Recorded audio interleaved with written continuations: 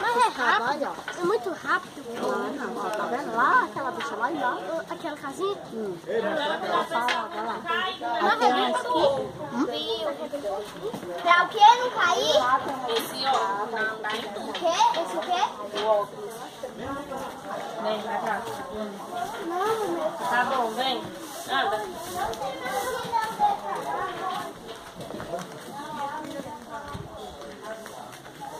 Casa.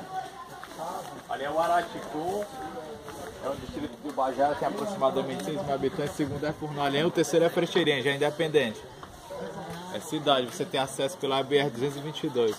Eita, pá, aqui tem trilho para descer, para chegar naquelas casas perto. Tem a trilha que você vai até a gruta, que são 7 km. Você bifurca para vir para a gruta e ela